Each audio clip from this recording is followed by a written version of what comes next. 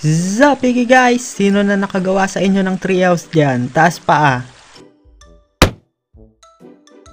Noong mga bata pa kami, ay sobrang hilig talaga namin umakyat sa mga puno. Kaya ngayon, ikikwento ko sa inyo kung paano kami gumawa ng treehouse dati. Isang araw, habang nangunguha kami ng mangga sa puno, ay bigla kaming may naisip ng mga kaibigan ko. Ah, pre, hindi ko maabot. Tama na yan, pagod na ako. La, kumuha pa kayo. Tatlo pa lang to. Kulang sa atin to. Hay nako, ang hirap kaya kumuha. Palibasa, hindi kayo umaakyat ni Ed eh. Eh, alam niyo namang hindi kami marunong umakyat ng puno. At nung time na yon, doon ko naisip na paano kaya kung lagyan namin ng hagdan yung puno para mas madali kaming makaakyat. Ah, pre, alam ko na. Para makaakyat din kami ni Ed dyan, gumawa tayo ng hagdan sa puno. La, mahirap yung iniisip mo. Dahil kailangan natin ng kahoy, pako, tas martilyo para makagawa ng ganun. Ah, yun lang pala eh. Ako bahala, meron kami niyan sa bahay. Oh, talaga ba? Sige, kumuha ka para makagawa na tayo ng hagdan dito sa puno para hindi na tayo mahirapan umakyat. Sige pre, wait lang. Hintayin niyo ako dyan. Kukunin ko lang yung mga gamit. Okay pre, bilisan mo. Hintayin ka namin dito.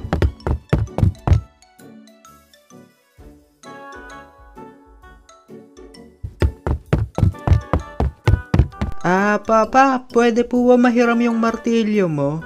Oh, bakit? Anong gagawin mo sa martilyo? Ah, eh, nanghihiram po kasi tatay ni Jopet. Gagawa daw po kasi sila ng bahay. Ah, ganun ba? Sige, kunin mo dun sa toolbox ko. Ah, okay, sige po.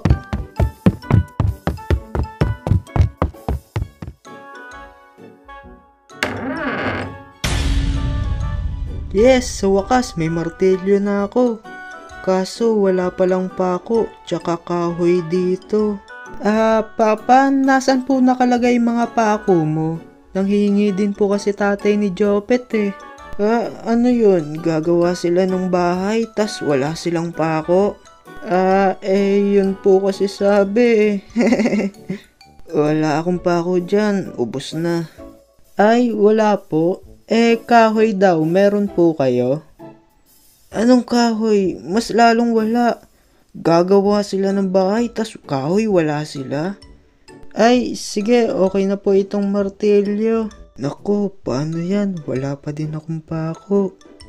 Ah, alam ko na. Bibili na lang ako sa hardware. Ah, Papa, pwede po ba manghingi ng limang piso? Bibili lang po ako ng pagkain. Ah, sige, eto. Yay! Marami salamat po. May pambili na ako ng pako. Ah, anong sabi mo? Ah, eh, sabi ko po, may pambili na ako ng pancake.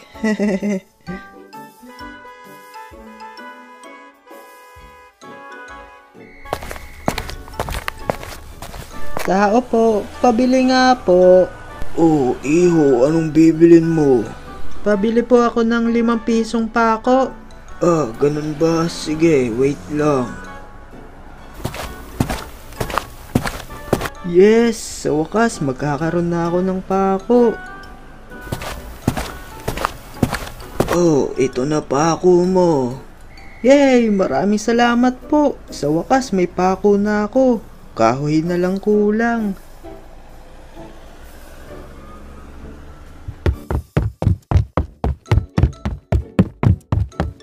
Oh, Utoy, bantayan mo muna yan ha. Kukunin ko lang yung kaldero tsaka posporo para makapagluto na tayo. Okay, sige po lolo, babantayan ko to.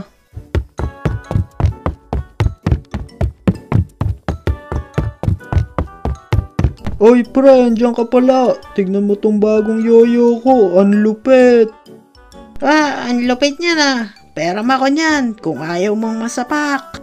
Ay, sige na nga. Ito, try mo.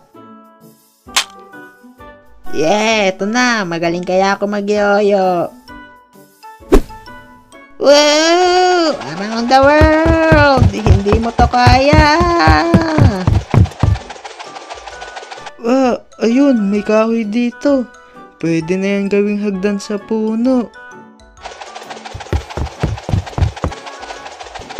Yeah, ang swerte ko talaga. Pupunta na ako kila Jopet. Wow! Ang lupet ko!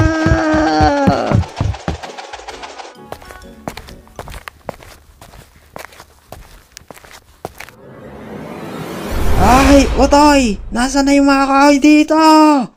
Ah, nasa na yun? Nandyan lang kanina yun ah. Ikaw talagang bata ka. Puro ka kasi laro. Umanda ka sa akin. Ah, tulong!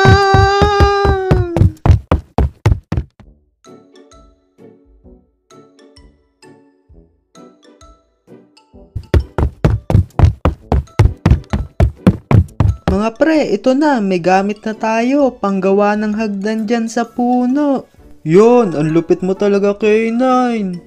Ah, mga pre, teka lang, may naisip akong malupit. Oh, ano naman yung naisip mo? Naisip ko na imbis na hagdan lang yung gawin natin, eh gumawa na din tayo ng malupit na tree house. Ah, oo nga no. Maganda yung naisip mo. At yung naisip ng tropa ko yun, eh nag-imagine pa kami sa magiging itsura ng treehouse namin. Sigurado ako, yung treehouse na gagawin natin, eh malupit ang itsura.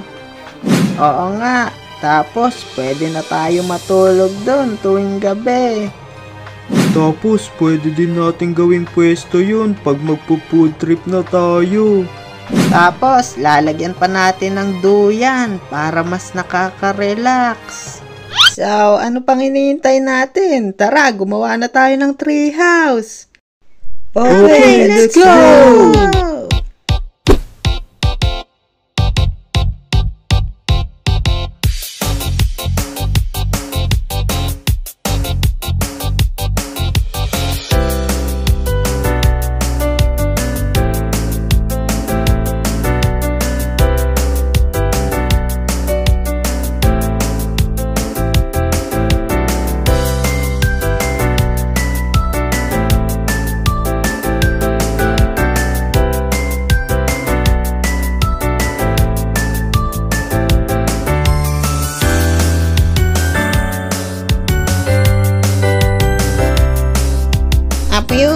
moments later.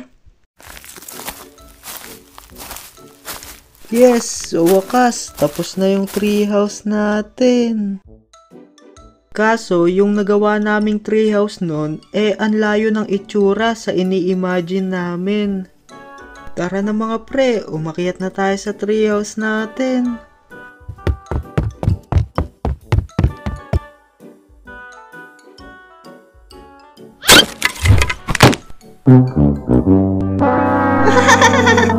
Ano ba yan, K9? May hagdan na nga eh. Nahulog ka ba? Guys, ano ba yan?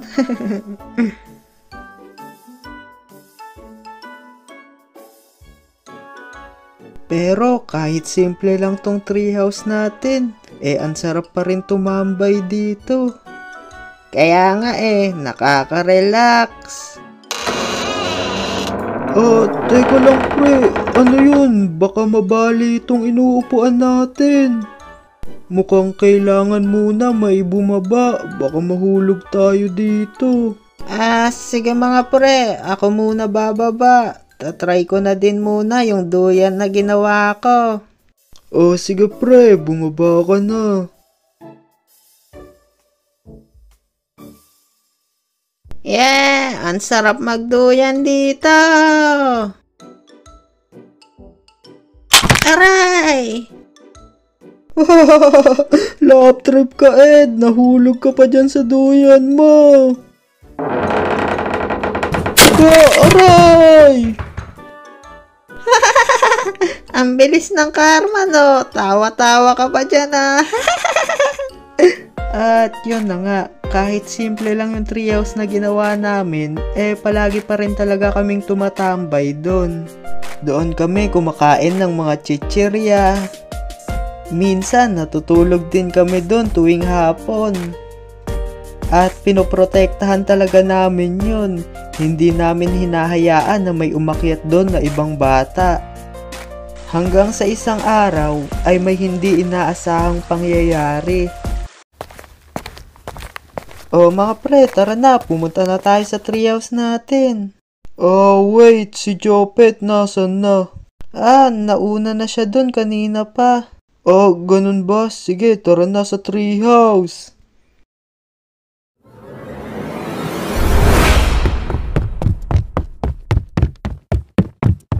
Ah, Jopet, ano nangyari dito? Asa na yung treehouse natin? Um, mga pre, inalis na daw nung may-ari ng puno yung ginawa nating treehouse. At yun na nga, sobra talaga kami nalungkot nung mga oras na yun. Pero wala din naman kaming magawa kasi hindi naman sa amin yung puno na yun. Kayo, anong treehouse experience nyo?